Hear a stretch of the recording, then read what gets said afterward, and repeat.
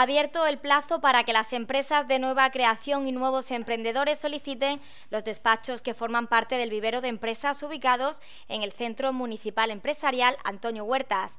Cada empresa podrá solicitar uno de los cinco despachos disponibles, mientras que el criterio de adjudicación será el orden de presentación de las solicitudes.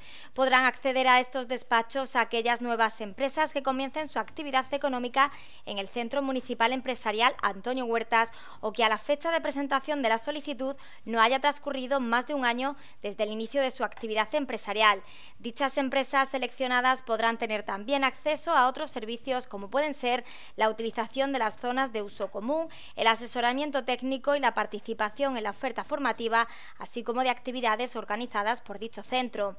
El uso de cada espacio será temporal, concretamente de seis meses, que podría prorrogarse por otros seis meses más.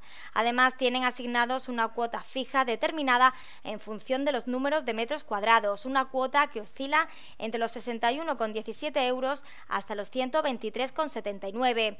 Las solicitudes se tienen que presentar en el registro del ayuntamiento. El modelo se puede adquirir en la Concejalía de Comercio y Desarrollo Económico, así como en la página web del ayuntamiento.